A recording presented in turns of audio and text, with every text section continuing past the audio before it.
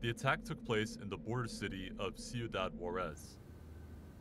The victims included three children younger than seven years old, two elderly, and three other members of the family aged between 30 and 40.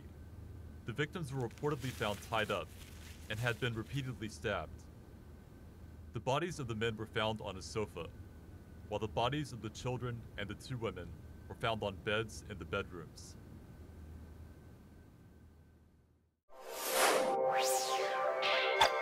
you.